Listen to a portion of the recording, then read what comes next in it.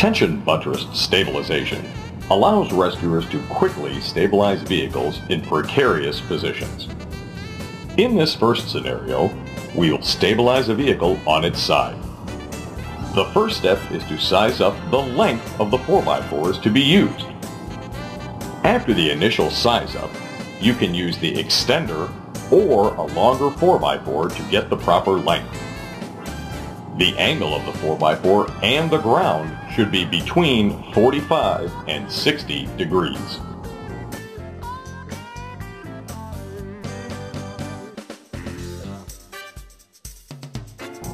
Next, position the head and base.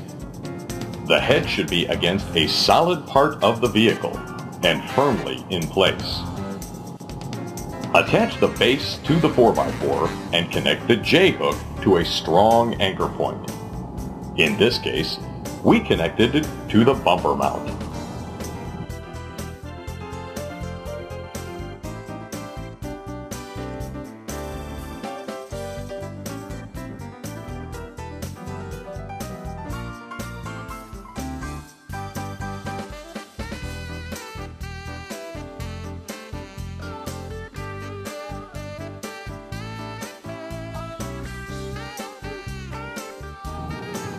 After attaching the J-hook to the vehicle, thread the strap through the ratchet and tighten. After the strap is tightened, use the excess strap to tie down the ratchet handle. Then, store any excess strap out of the rescuer's way.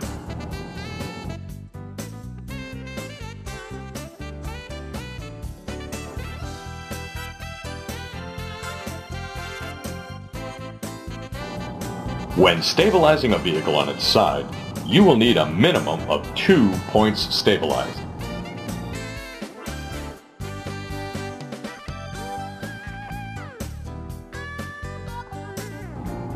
Here, the head of the Bear claw is placed near the base of the C-post.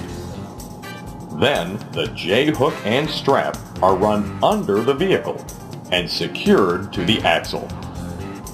It is important to pre-plan the extrication so that you don't position the stabilizing device in your access or egress routes.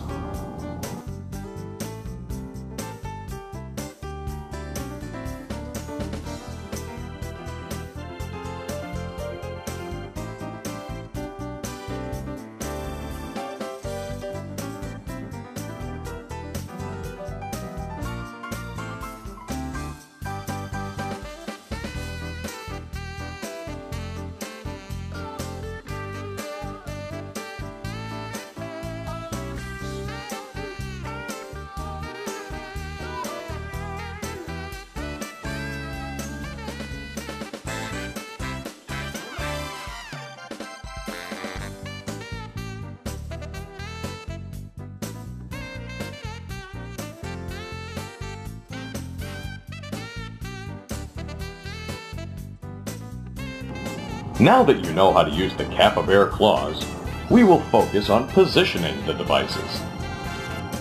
The next vehicle is on its roof. Using this type of stabilization device is much faster than box cribbing. Here, the head of the Bear claw is placed on the bumper. After this is in place, the J-hook is placed around the C-post. After the J-hook is in place, thread the strap through the ratchet and tighten. Be sure to tie off the ratchet and store the excess strap.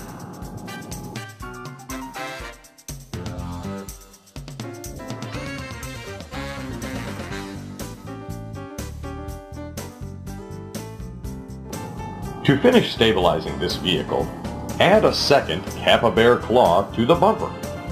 This will give side-to-side -side stability.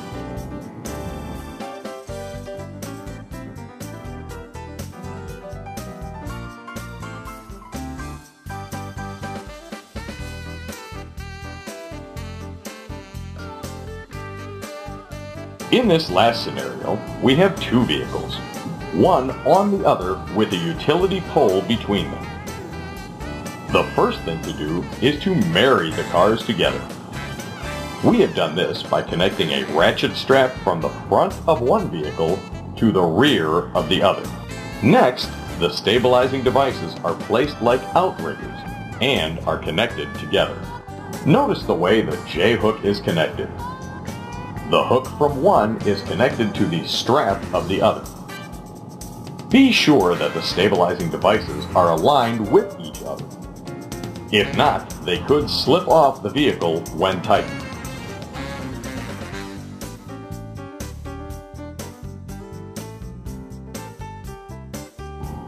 Thank you for watching this video presentation from American Rescue Technology.